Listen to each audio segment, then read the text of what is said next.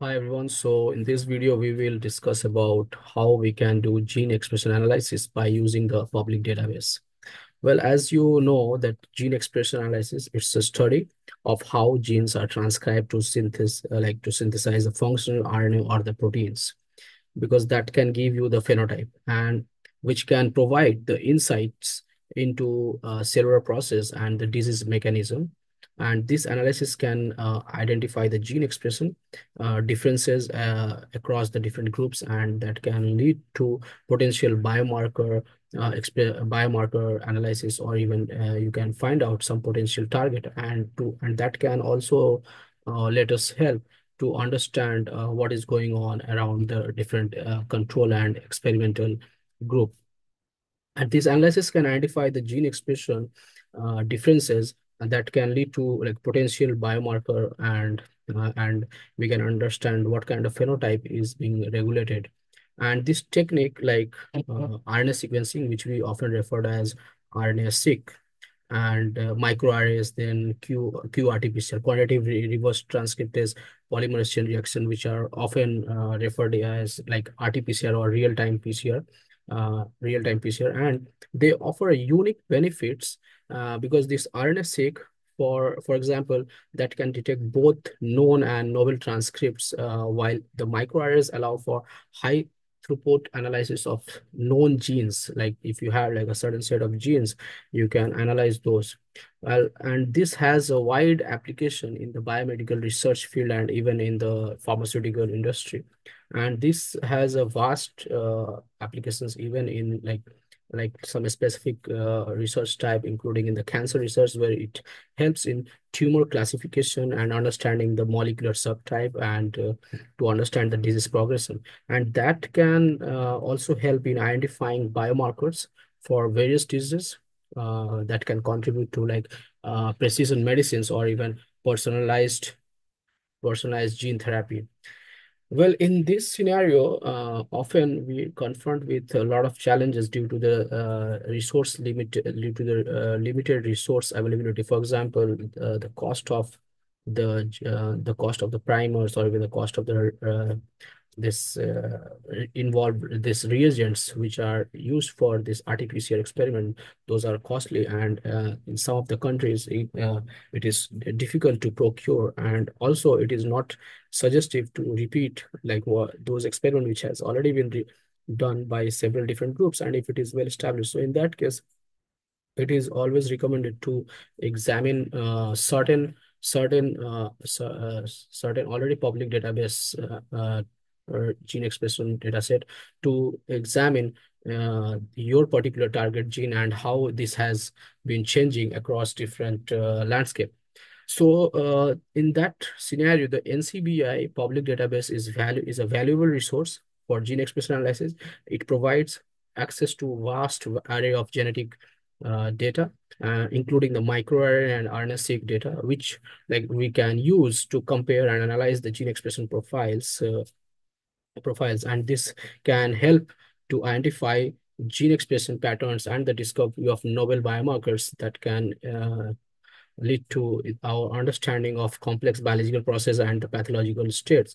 And the database supports uh, uh, like offering tools and even it has like a resource for the data analysis and that can help in indispensable assets in the genomic research and for example, in this video, I will be so I will be showing you uh, a live example how you can use the NCBI database to uh, to analyze your target gene in from by using the public database. So I'll just share my screen to you and I'll show how you can use the NCBI tool to analyze uh, the gene expression of to expression uh, level of any genes in in uh, in a given condition depending on the experimental goal what the people have already done. So i'll say here. So here uh, i will show you how you can go to the ncbi website. For example you can open this uh, website called ncbi and here you can click for example here i have already uh, searched one of the this every data set has certain genes uh, uh, genes gene and gene expression omnibus accession number so with that you can identify a particular uh, a particular uh, this uh, data set. So for example, here I am uh, here I am sharing uh, with you one of the data set where they have used the single cell transcriptomics of human human and mouse lung cancer that reveals myeloid population across individuals and species. So this is a single cell uh, uh, transcriptomic data from the human as well as mouse uh, lung cancer. And it has it, they have uh, actually in this paper they have uh, basically revealed the myeloid population how they are being uh, diversified. So here you can see when the what's the summary of this paper uh, and even the overall design what kind of uh, experimental design they have for example they have done single cell rna sequencing or even the uh, of this rbc depleted cells from non-small cell lung tumor and and uh, and from blood of seven patients. Here also they have single cell single cell RNA-seq of CD45 positive cells from lungs uh, of two healthy mice and two lung tumor mice. Here you can also see you know, where which where this paper has been published. The paper which is related with this uh, particular data set. The these are the authors who have generated this data. Uh, so you, you can see who all have contributed and then you can also see the exact citation of that paper. For example, here you can see the PubMed ID and even uh, who all have funded this project. For example, here you can see that this has been funded by various uh, uh, groups, including this Mass General Hospital, and the, which are which is an affiliated hospital of the Harvard Medical School and even Beth Israel. So, and when it was submitted like 20, 25th, 28th February and all, these things they have given here. And similarly, you can even uh, go and check many other data set. And here you can even find like what all samples are available. So for each patient, like tumor tumor group, you can see like there are different uh, like there are different uh, uh, data set of this single cells uh, RNA-seq data. Uh, for example, they have used like tumor uh, tissue and even they have used this blood sample. And so I'll show you a very simple, uh, from the very beginning, I'll show you. For example, first of all, uh, because this has been chosen before, so you have to go to this GEO, gene gene enrichment omnibus and here you can suppose you can check any kind of suppose you are finding any of the suppose uh, I, am going to check something related with uh, this uh, cancer. Suppose let it be brain cancer like glioma. Glioma is technically referred as uh, is, is a technical term for this brain cancer. So here you can see there are like uh, almost uh, 109,896 uh, data sets are available. So you can click over this link.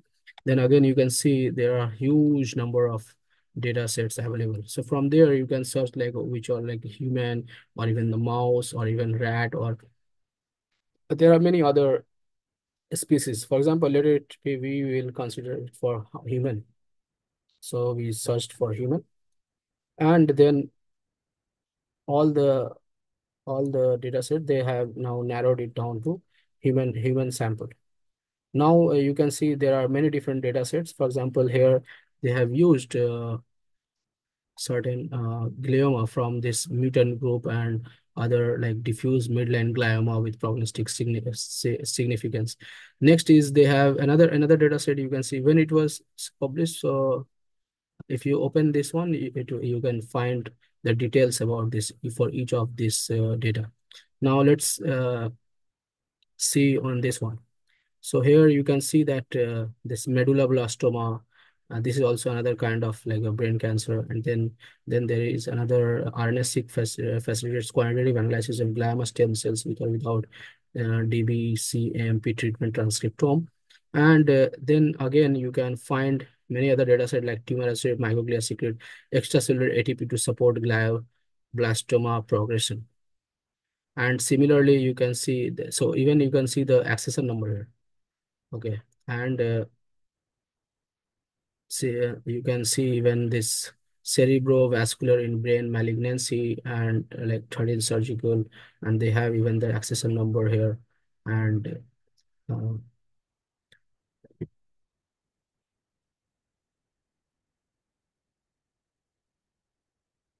so in the in this way you can find So in the in this way, you can find as many as possible data set and you can find huge number of data set. And suppose we can uh, choose any of these depending on our requirement.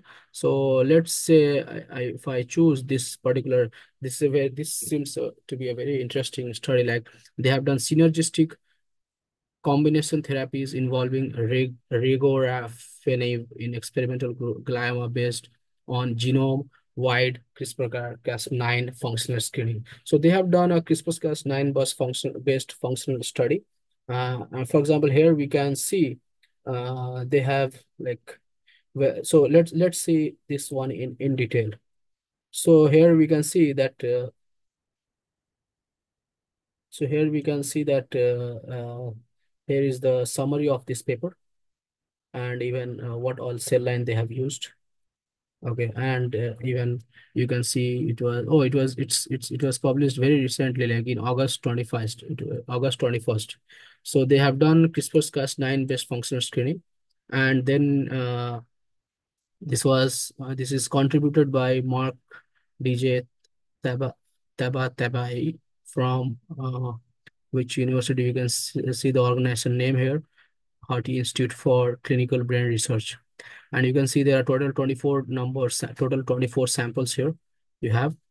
And so you can uh, do the analysis of your uh, required gene. For example, here, let's say, so for that, you have to just click this analyze with GEO2R. So this is, this is one of the tool provided uh, by NCBI, and this is a very important tool which where uh, everything has been processed and you don't have to even do processing of the data and it will save a lot of your time and you can simply go to this GEO2R. So you can see that there are how many different groups are available. Like you can see like glioma and then uh, even among glioma, there are many different kind of treatment group. For example, DMSO, they have used as a control group DMSO, and then one of the drug regorafenib they have used. So uh, after going this, uh, going here, you can uh, use the, you can define the group.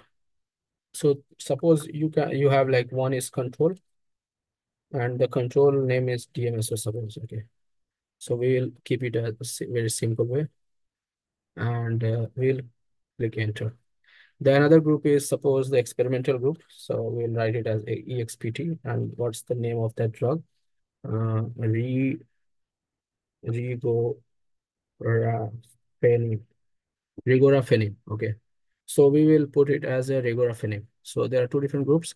So let's uh, select all those control groups. So this is DMSO, DMSO, DMSO, DMSO, DMSO, DMSO.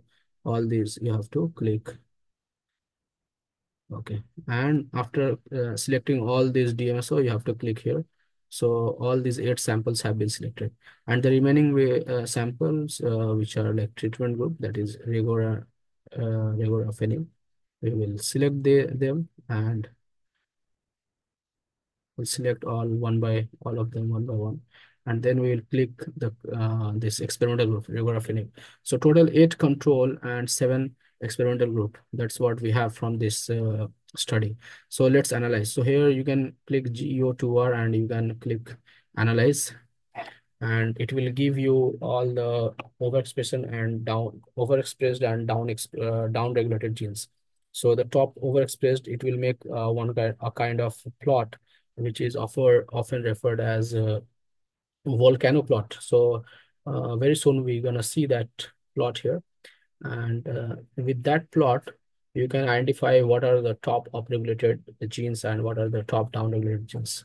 And also you'll get the statistical value and the log two fold change. All of these uh, top differentially expressed genes you can find here. So uh, this figure shows you a volcano plot and you can see the, the top upregulated genes are shown in the red color and the top uh, downregulated genes are shown in this blue color. So interestingly, with this particular uh, uh, data, you can identify what are the top upregulated genes and what are the top downregulated genes. And with the top uh, with the top upregulated genes, you uh, definitely uh, some of them might have some functions, and you can identify whether those genes really have some kind of function. For that, you have to uh, do some kind of knockdown study or even the knockout study using the CRISPR-Cas. So here you can see that uh, the, this blue color shows the top down regulated genes and this red color. So let's explore. So you can even, there is explore function as, as well. For example, you can explore here.